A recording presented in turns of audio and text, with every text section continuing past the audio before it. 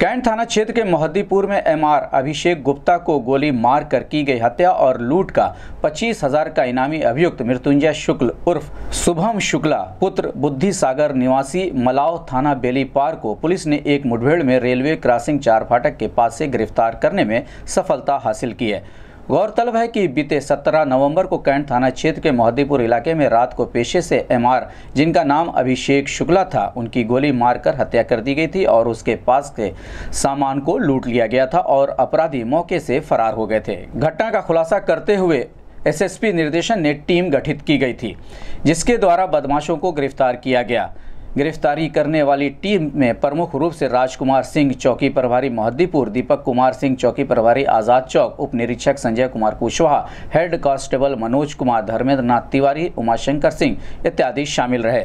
Police line सभागार में घटना का खुलासा करते हुए एसपी सिटी विनय कुमार सिंह ने बताया कि अभियुक्त मृत्युंजय शुक्ला का पुराना आपराधिक इतिहास रहा है। इनके विरुद्ध देवरिया के सलेमपुर और गोरखपुर के बेलीपार थाने में हत्या लूट के कई मुकदमे पहले से दर्ज हैं। एसपी सिटी ने बताया कि अभियुक्त के पास से गिरफ्तारी के समय एक प्रतिबंधित 32 बोर की पिस्टल एक ज़िंदा कारतूस एवं एक होगा कारतूस 32 बोर एवं एक मोटरसाइकिल बरामद की गई। गोरखपुर न्यूज़ से बात करते हुए एसपी सिटी विनय कुमार सिंह ने बताया। बनाओ अपराधी को भी बुला लीजिए अपना खड़ा हो गया था बोल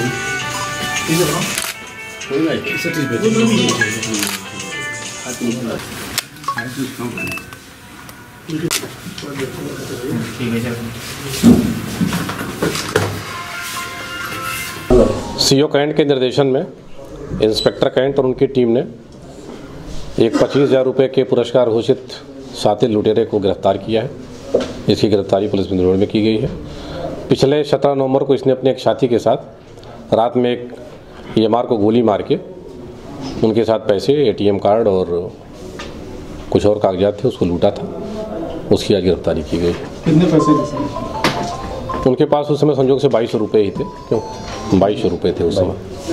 और छीना छपटी में गोली मार के लूट कारित किया था इस व्यक्ति ने।